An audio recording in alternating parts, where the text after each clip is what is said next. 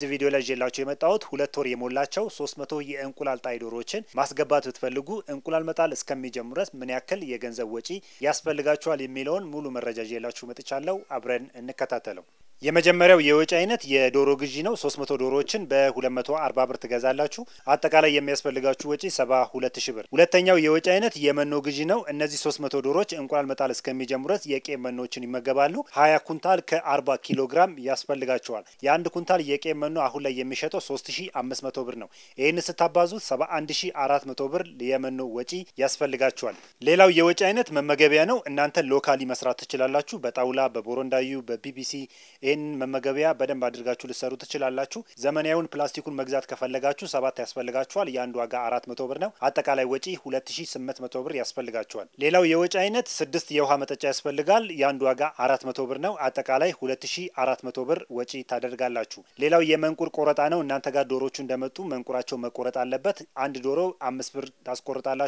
አጠቃላይ ሶስት መቶ ዶሮችን ስላስገባችሁ አንድ ሺ አምስት መቶ ብር ለመንቁር ቆረጣ ያስፈልጋችኋል። ሌላው የወጪ አይነት ወለሉ ላይ የምታደረጉት ቅዝቃዜን እርጥበትን ለመከላከል የሚጠቅም ሰጋቱራ፣ ገለባ፣ ጭድ ልታደረጉ ትችላላችሁ። እኔ ሰጋቱራ ነው የምጠቀመው። ስድስት ኩንታል ያስፈልጋል። የአንድ ኩንታል ዋጋ መቶ አርባ ብር ነው። አጠቃላይ ስምንት መቶ አርባ ብር ወጪ ያስፈልጋችኋል። ሌላው የወጪ አይነት ቫይታሚን ነው። በወር ሁለት እሽግ ያስፈልጋችኋል። ስድስት እሽግ አጠቃላይ ያስፈልጋል።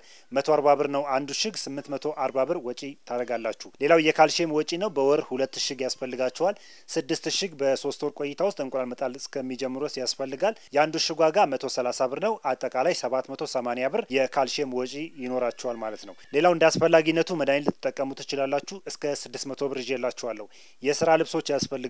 በሽታ ለመከላከል ጠቃሚ ነገር ነው። ቱታ ያስፈልጋችኋል። እንደዚህም ቦት ጫማ የምንለውን 800 ብር ግዢ ታካሂዳላችሁ። የመጨረሻው አስፈላጊና የተለያዩ ወጪዎች ይኖራሉ። በእያንዳንዱ እቃ ላይ ማሪ ሊኖር ይችላል። እስከ 3 ሺ ብር ይዤላችኋለሁ። ከላይ ጀምሮ ተመልካቾቼ ስትደምሩት የወጪ አይነቱና የወጪ መጠኑ በገለጽኩላችሁ መሰረት እነዚህ 300 ዶሮዎች ከሁለት ወር ጀምሮ አስገብታችሁ እንቁላል መጣል እስከሚጀምሩ ድረስ የሚያስፈልጋችሁ የወጪ መጠን 156960 ብር ለእነዚህ ለ300 ዶሮዎች ወጪ ያስፈልጋችኋል ማለት ነው። በዚህ ወጪ ላይ ያልተካተቱ ነገሮች አሉ። ለምሳሌ የቤት ክራይ፣ የሰራተኛ ወጪ አልተካተተም። የመብራት፣ የውሃ እነዚህ ነገሮች በቤታችሁ ስለምሰሩ ራሳችሁ እየተንከባከባችሁ ከቤተሰብ ጋር በጋራ ሆናችሁ ልትሰሩ የምትችሉት የስራ አይነት ነው። ምክንያቱም መጠናቸው ትንሽ ነው። በዛ አድርጋችሁ ቤት ተከራይታችሁ ሰራተኛ ቀጥራችሁ መስራት ከፈለጋችሁ ግን እስከ አንድ ሺህ ዶሮዎችን መያዝ ይኖርባችኋል ማለት ነው። በዚህ መሰረት ሶስት መቶ ዶሮ እንቁላል መጣል እስከሚጀምሩ ድረስ መቶ ሀምሳ ስድስት ሺ ዘጠኝ መቶ ስልሳ ብር ያስፈልጋቸዋል ተመልካቾቼ። ከነዚህ ከሶስት መቶ ዶሮዎች እንቁላል መጣል ሲጀምሩ ደግሞ በወር ውስጥ ምን ያክል ገቢ እናገኛለን የሚለውን በቀጣይ ቪዲዮ ይዤላችሁ እመጣለሁ።